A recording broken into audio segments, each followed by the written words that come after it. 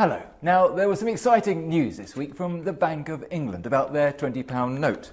They want to change the face on the front of it. Not the, the Queen, she remains, but on, on this side, where currently the 18th century economist Adam Smith resides. They want a new figure for that for a few years' time, and they want us to help make some suggestions. Uh, criteria are fairly straightforward. They have to be British, dead, and a visual artist, a painter, sculptor, filmmaker, designer, that sort of thing. Now, already thousands of people have contributed to this discussion, and I thought I'd throw in my two penneth worth, and I've made a bit of a list. Now, the front runners are people like William Hogarth, the cartoonist and artist.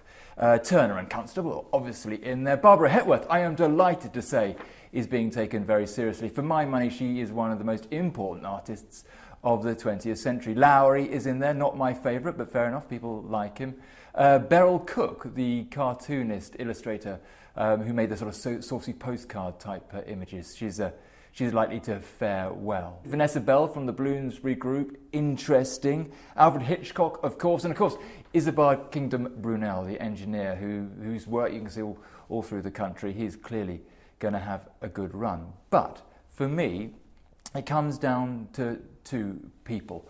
One is William Morris, the designer and painter, engraver. He changed the way the visual arts not only were in this country but were in the world. When the Germans wanted to come over and find out why Britain was doing so well at the end of the 19th century, they pinpointed Morris and his arts and crafts movement, the fact that he was able to put a view on industrialization which had a more human centric appearance, that it softened things down. It had something to do with nature, as Ruskin would say. And they went back and they st- set up these things called the Deutsche Werkbund and took on uh, design and took it very seriously indeed. But Morris was a father of this. He had this sensitivity, he had this relationship with nature that he was able to transmit through the works he produced. He was, in my view, a genius. And the other person I'd like to see shortlisted for the banknote, in fact, on the banknote, is the 19th century photographer Julia Margaret Cameron. Now, you might not know her work, she's not particularly famous, but she's really important and absolutely brilliant, and also quintessentially eccentric in a British sort of way. She didn't start taking pictures until she was 48 years old. She was a mother of six, and her daughter gave her a camera, a newfangled piece of kit. And Julia Margaret Cameron really took to it and started photographing all her mates, among whom were people like Alfred Lord Tennyson. And she created this extraordinary catalogue of portraits of some of the most important people from that period in Britain. She developed a very singular style remarkably quickly. Now, of course, all her pictures were black and white given the time, but she really accentuated that aspect of them. The backgrounds were very, very dark indeed. And then she used a single light source to capture the feature of her sitter.